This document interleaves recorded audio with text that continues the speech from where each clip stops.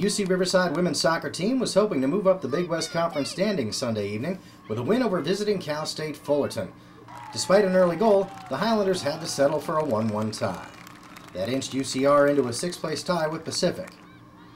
UC Riverside got on the board early as Selena Valencia and Shelly Brumbaugh teamed up for Brumbaugh's first career goal with just 2.29 gone in the first.